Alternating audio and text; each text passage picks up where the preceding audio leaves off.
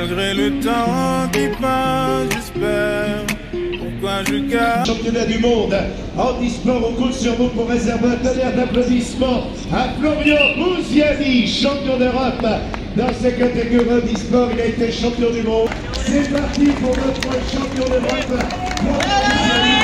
Champion d'Europe. Accepté accueilli dans son équipe, il a brillé notamment à la Strade Bianche où il était au top 10. C'est parti pour le. C'est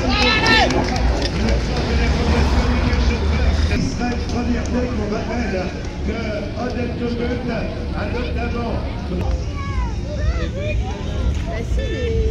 Voilà,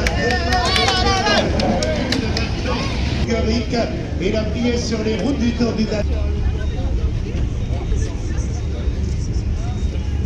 Et voilà, c'est parti pour euh, Rasmus Pedersen. L'une des plus grandes compétitions internationales. Rappelez tout à l'heure ses performances. Il a de bonnes qualités de rouleur. En ayant terminé plus